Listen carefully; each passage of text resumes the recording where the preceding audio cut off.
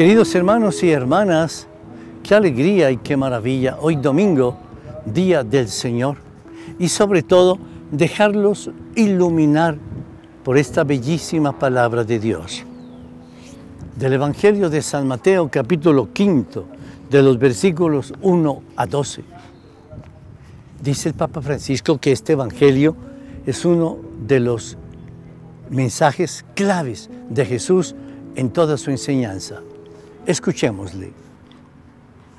Viendo la multitud, Jesús subió a la montaña, se sentó y sus discípulos se le acercaron. Entonces tomó la palabra y comenzó a enseñarles diciendo, Dichosos los que tienen espíritu de pobres, porque el reino de los cielos es para ellos. Dichosos los que sufren, porque serán consolados. Dichosos los humildes, porque heredarán la tierra.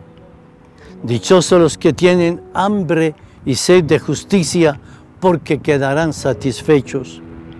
Dichosos los misericordiosos, porque obtendrán misericordia. Dichosos los limpios de corazón, porque verán a Dios. Dichosos los que trabajan por la paz, porque se llamarán hijos de Dios. Dichosos los perseguidos por practicar la justicia, porque el reino de los cielos es para ellos.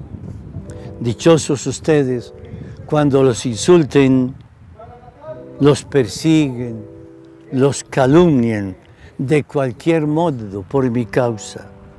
Alégrense y regocíjense porque tendrán una gran recompensa en el cielo. Palabra del Señor, gloria a ti, Señor Jesús. Creo que acabas de caer en la cuenta. Jesús, en esta palabra llamada las bienaventuranzas, o sea, las fuentes de la felicidad y de la dicha, toca prácticamente todos los tópicos, ¿verdad? Toca aquello más interior, toca las actitudes exteriores.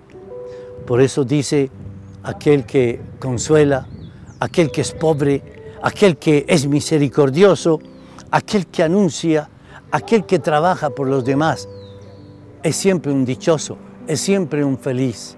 Y si lo hace por amor desde el Evangelio, y si lo hace, dice Jesús, como yo lo quiero hacer, dando mi vida por los demás, ese será feliz. Por eso hoy es un día para suplicarle al Señor de todo corazón que nosotros hagamos de las bienaventuranzas como una pauta que sea como un camino tan hermoso como este que nosotros tenemos en este momento, acá en estos jardines de la esperanza. Que nosotros como que encontremos un camino adornado y bello, son las bienaventuranzas que nos van diciendo cómo avanzar, cómo caminar, cómo encontrar un camino bello, recto y que nos lleva indudablemente a la felicidad desde esta tierra y a la felicidad eterna.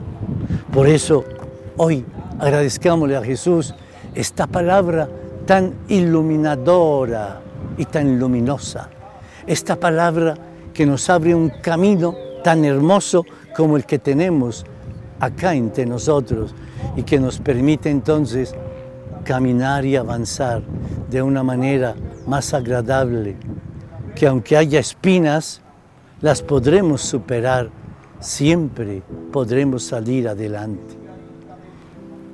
Que el Señor nos bendiga y nos guarde en el nombre del Padre, del Hijo y del Espíritu Santo.